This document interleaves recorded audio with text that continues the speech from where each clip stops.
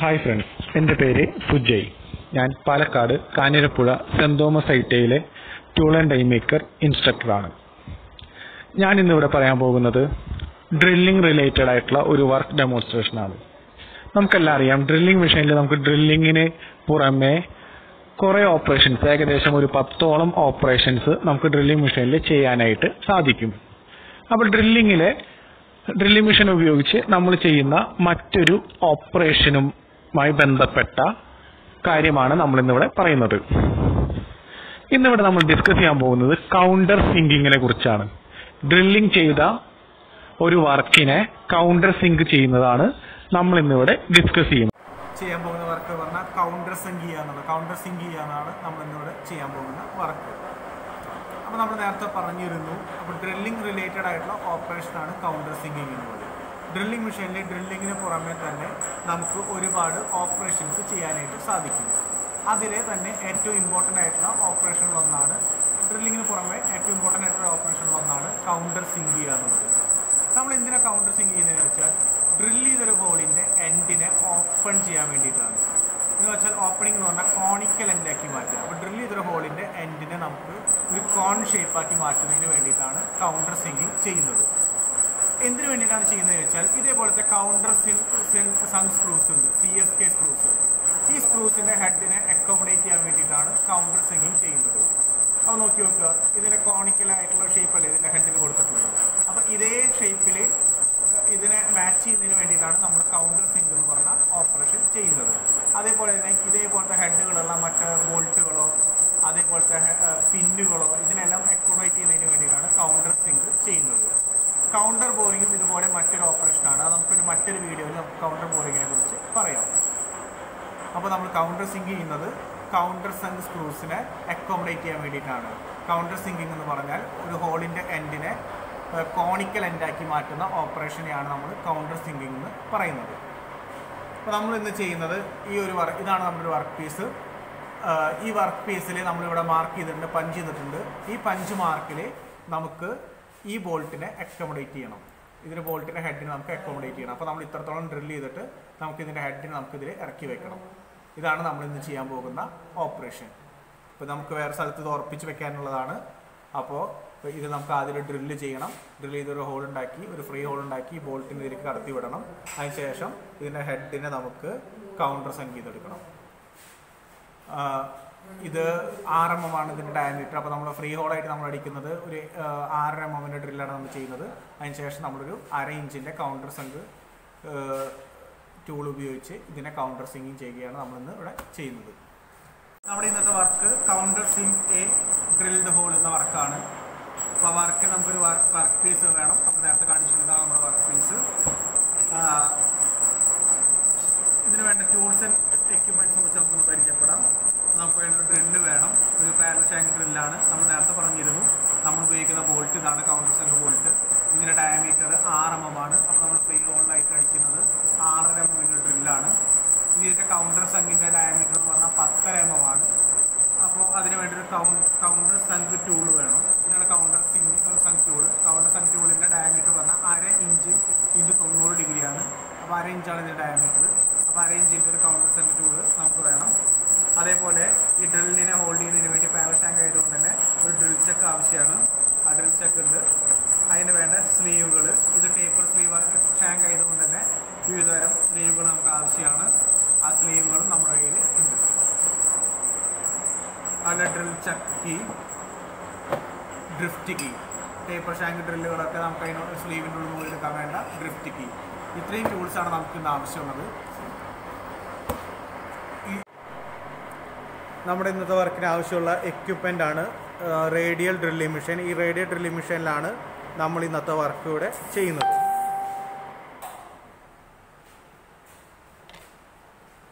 ഈ കാണുന്നതാണ് radio drilling machine ഈ മെഷീന്റെ സഹായത്താലാണ് നമ്മൾ ഇന്നത്തെ വർക്ക് ഇവിടെ ചെയ്യാൻ പോകുന്നത്.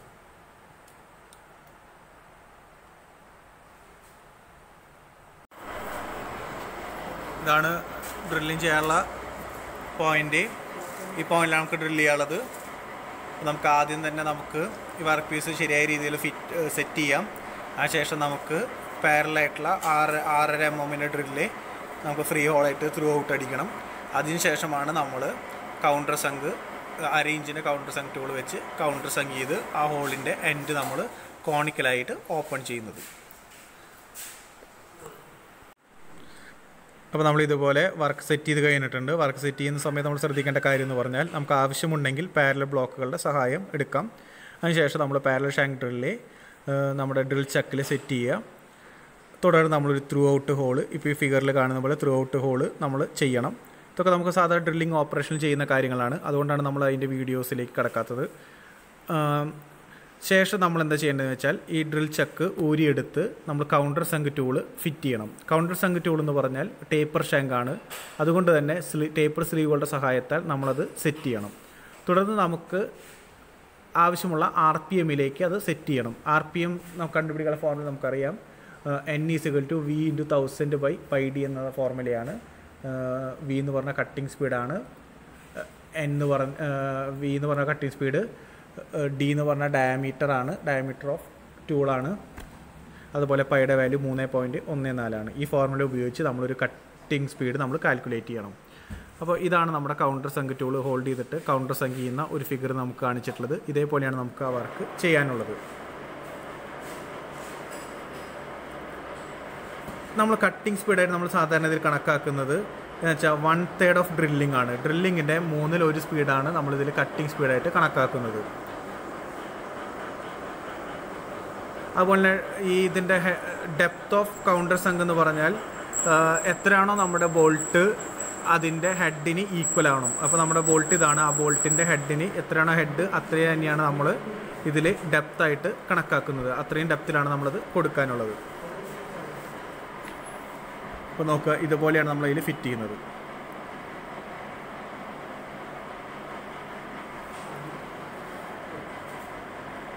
അപ്പോൾ ഈ കാണുന്നതാണ്. ഇതാണ് കറക്റ്റ്. ഇത് ഡെപ്ത് കൂടാനും പാടില്ല. അതുപോലെ തന്നെ ഡെപ്ത് നമുക്ക് കുറയാനും പാടില്ല. കറക്റ്റ് ഡെപ്തിൽ തന്നെ അത് വരണം. ഓക്കെ ഇതാണ് നമ്മൾ ചെയ്യാൻ പോകുന്നത്. നമുക്ക് തുടർന്ന് വീഡിയോയിലേക്ക് കിടക്കാം. ബാക്കി കാര്യങ്ങൾ നമുക്ക് വീഡിയോന് ശേഷം നമുക്ക് ബാക്കി എന്തെങ്കിലും കാര്യങ്ങൾ പോയിന്റുകൾ പറയാനുണ്ടെങ്കിൽ നമുക്കതപ്പോൾ ഡിസ്കസിലേക്ക് ഡിസ്കസ് ചെയ്യാം. നമ്മൾ ശ്രദ്ധിക്കേണ്ട കാര്യം എന്ന് പറഞ്ഞാൽ വളരെ കൂടുതൽ സ്പീഡിൽ ചെയ്യുന്ന ഓപ്പറേഷൻ അല്ല നമ്മൾ വളരെ പതുക്കെ ചെയ്യുന്ന ഓപ്പറേഷനാണ്. പിന്നെ അതുപോലെ കട്ടിംഗ് സ്പീഡ് എന്ന് പറഞ്ഞാൽ സാധാരണ ഡ്രില്ലിങ് ചെയ്യുന്നതിന്റെ മൂന്നിലൊന്ന് മാത്രമേ നമ്മളിവിടെ കട്ടിങ് സ്പീഡായിട്ട് എടുക്കാറുള്ളൂ. ഇതൊക്കെ അതിന്റെ പോയിന്റുകളാണ് ആ പോയിന്റുകൾ ജസ്റ്റ് ഒന്ന് വായിച്ചു നോക്കുക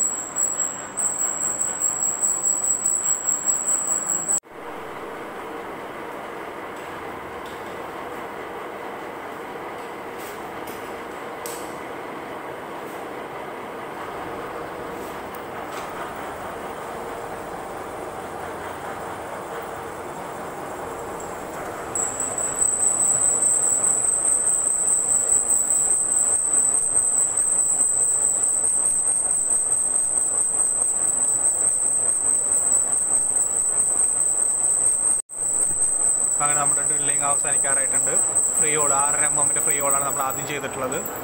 ഫ്രീ ഹോൾ നമ്മൾ ചെയ്ത് കഴിഞ്ഞു. കാസ്റ്റ് ആണ് ആയതുകൊണ്ട് തന്നെ നമുക്ക് വളരെ പെട്ടെന്ന് നമുക്ക് ചെയ്യാൻ സാധിക്കുന്നുണ്ട്. ഫ്രീ ഹോൾ നമ്മൾ ചെയ്ത് കഴിഞ്ഞിട്ടുണ്ട്. നല്ല രീതിയിൽ ക്ലീൻ ചെയ്തതിന് ശേഷം ഡ്രില്ലും ഡ്രിൽ ചക്കും ഊരിയെടുക്കണം. തുടർന്ന് നമ്മൾ കൗണ്ടർ സംഗ് ടൂൾ ഫിക്സ് ചെയ്യണം. ഇപ്പോൾ ഡ്രിൽ ചെക്ക് ഡ്രില്ലും ഡ്രിൽ ചെക്കൊക്കെ ഊരാം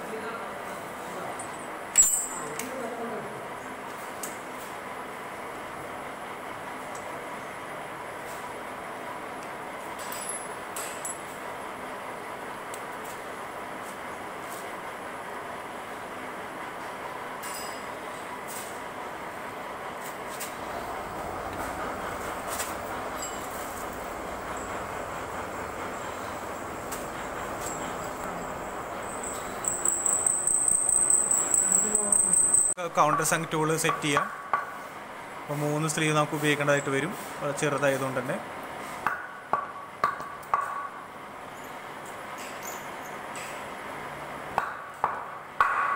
ഓക്കെ അപ്പോൾ നമ്മൾ സെറ്റ് ചെയ്തിട്ടുണ്ട്. ഇതാണ് നമ്മുടെ ടൂൾ മൂന്ന് സ്ലീവുകളിൽ നമ്മൾ സെറ്റ് ചെയ്തിട്ടുണ്ട്. എന്നിട്ട് നമ്മളത് ഡ്രില്ലിംഗ് മെഷീന്റെ സ്പിൻഡലിലേക്ക് കയറ്റുന്നത്. ഹോൾഡായിട്ടുണ്ടെല്ലാം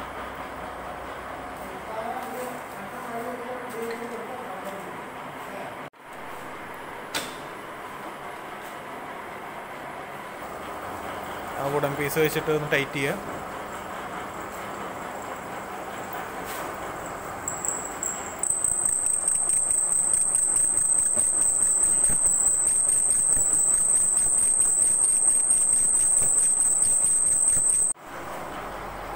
തുടർന്ന് നമ്മൾ ആർ പി എം കാൽക്കുലേറ്റ് ചെയ്തിട്ട് ആർ പി എമ്മിലേക്ക് നമ്മൾ സെറ്റ് ചെയ്യാണ്. സെറ്റ് ചെയ്തതിന് ശേഷം നമ്മൾ ജസ്റ്റ് ഒന്ന് ഓണാക്കി നോക്കുക. ശരിയാണോ എന്നുള്ളത് ആ അപ്പോൾ കുഴപ്പമില്ല. നമ്മൾ ഫീഡ് കൊടുക്കുന്നത് വളരെ പതുക്കെ വേണം നമ്മൾ ഫീഡ് കൊടുക്കാനായിട്ട്. അപ്പോൾ നമ്മൾ മെഷീൻ ഒന്ന് താഴ്ത്തണം കുറച്ചും കൂടി. താഴ് കൊണ്ടുവരണം. അപ്പോൾ കറ കറക്റ്റായിട്ട് നമ്മൾ സെന്ററിൽ ലൊക്കേറ്റ് ചെയ്യണം. ചെറിയ മാറ്റങ്ങൾ ഉണ്ടെങ്കിൽ അത് ഔട്ടായി മാറും. അപ്പോൾ നമ്മൾ കറക്റ്റായിട്ട് സെന്ററിൽ ലൊക്കേറ്റ് ചെയ്തെന്ന് ഉറപ്പ് വരുത്തുക. അതിന് ശേഷം നമ്മൾ മെഷീൻ ഓൺ ചെയ്ത് പതുക്കെ ഫീഡ് കൊടുക്കുക. അപ്പോൾ ജസ്റ്റ് കട്ട് കൊടുത്തതിന് ശേഷം ഒന്ന് മുകളിലേക്ക് എടുത്ത് വെക്കുക മുകളിലേക്ക് എടുത്ത്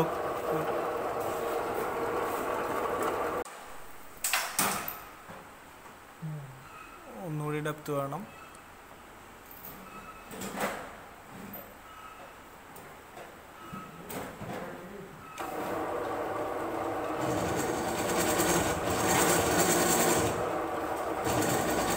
ആ മതി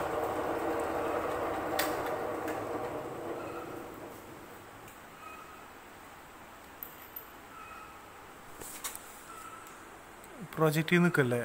അത് പാടില്ല.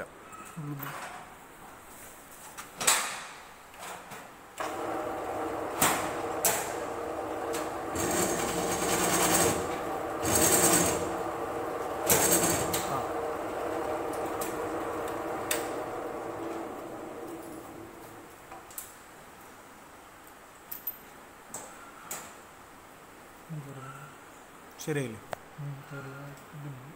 ഒന്ന് ജസ്റ്റ് ഫിനിഷ് കൊടുത്തു.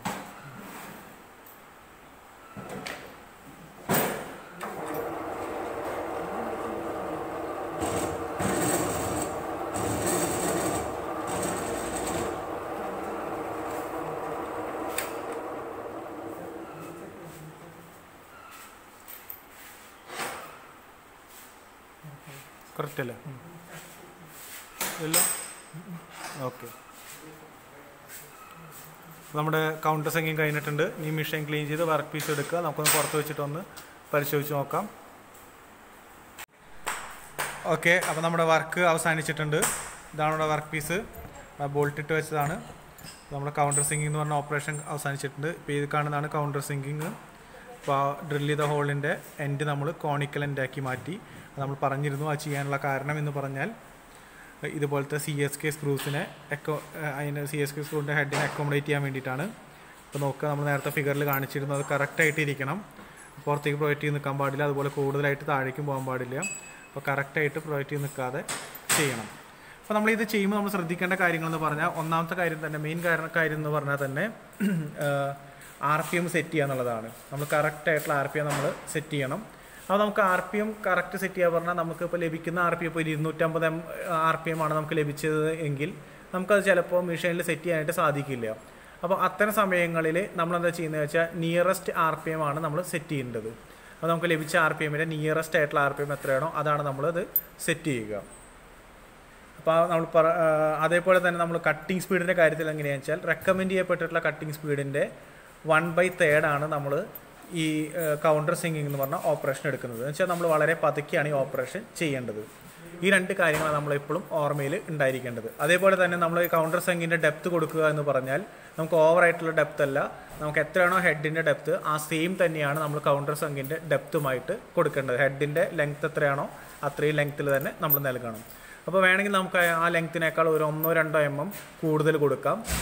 എന്നാൽ അതിൽ കൂടുതൽ നമുക്ക് കൊടുക്കുകയാണെങ്കിൽ ഹെഡ് താഴേക്ക് ഇറങ്ങിയിരിക്കാനുള്ള സാധ്യ സാധ്യതയുണ്ട്. അതേപോലെ കുറവ് കൊടുക്കുകയാണെന്നുണ്ടെങ്കിൽ ഹെഡ് പുറത്തേക്ക് പ്രൊജക്റ്റ് ചെയ്ത് നിൽക്കാനുള്ള സാധ്യതയും ഉണ്ട്. അപ്പോൾ നമ്മൾ ആ കാര്യം ശ്രദ്ധിക്കണം. അപ്പോൾ ഇത്രയും കാര്യങ്ങളാണ് നമുക്ക് കൗണ്ടർ സിങ്ങിങ് എന്ന് പറഞ്ഞ ഓപ്പറേഷൻ ശ്രദ്ധിക്കാനുള്ളത്. നമുക്ക് മറ്റൊരു വീഡിയോ ആയിട്ട് നാളെ കാണാം. ഇന്നത്തെ വീഡിയോ എല്ലാവർക്കും ഇഷ്ടപ്പെട്ടെന്ന് കരുതുന്നു. താങ്ക്